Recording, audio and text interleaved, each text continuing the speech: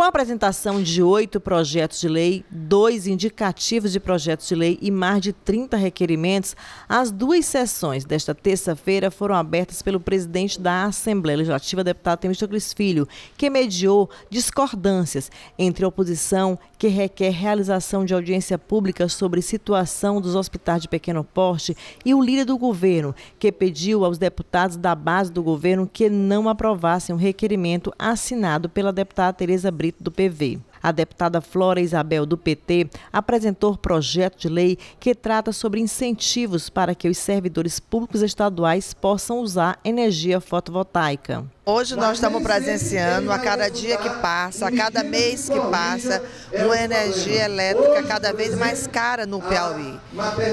Todas as pessoas, é, tanto de baixa renda, como de média renda ou de alta renda, elas sentem todo mês o que é o peso de uma energia desse preço que nós presenciamos. É nesse sentido que nós apresentamos o projeto de lei que visa melhorar a vida dos servidores públicos, que muitos não têm condição de fazer um financiamento para energia solar por conta dos preços, por conta da alta taxa de juros. Então, a minha proposta com o projeto de lei é que o governo possa subsidiar e possa também entrar no financiamento para os servidores públicos que poderão descontar no mês no seu contra-cheque. Nós vamos melhorar a vida de milhares de pessoas aqui no Piauí.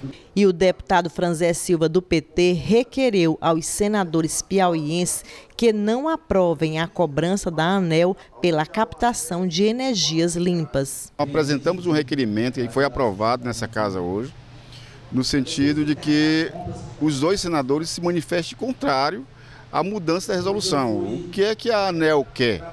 No momento em que a ANEL estabelece uma tarifa vermelha para o mês de novembro, justificando que os nossos reservatórios estão em baixa, onde há aumento da produção de energia eh, nas nossas hidrelétricas, ela encaminha uma mudança dentro da geração de energia fotovoltaica, de energia limpa. Ora, isso é um contrassenso.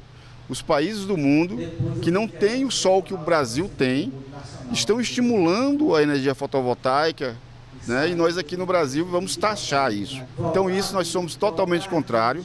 Vamos puxar esse debate aqui na Assembleia e vamos fazer solicitação aos nossos parlamentares, ao senador Ciro, ao senador Elmano, para que se posicionem contrário a essa mudança. Com realização de primeira e segunda votações na ordem do dia, foram aprovados seis projetos de lei, dois indicativos de projeto de lei e um projeto de resolução.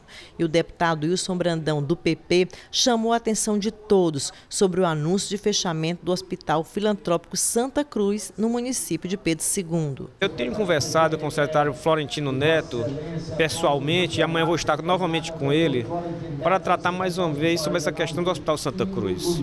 Eu acho que Pedro II não pode politizar uma questão da saúde. Lá nós temos que unir forças, os deputados estaduais, deputados federais, o prefeito, os senadores da República, para que a gente possa manter este hospital aberto. O Hospital Santa Cruz, ele é uma necessidade para Pedro II e para a região ele se soma ao hospital estadual, que hoje é municipalizado, Hospital Josefina Jatirana Neta, e para que possa atender, atender bem aos, aos pacientes de toda a região de Pedro II. Então nós queremos unir forças e buscar junto ao secretário soluções, juntamente com a Fundação dos Padres Camilianos, que hoje gerencia o hospital, e seus gestores para que a gente possa então é, discutir soluções que sejam necessárias para o bom andamento dos trabalhos do Hospital Santa Cruz.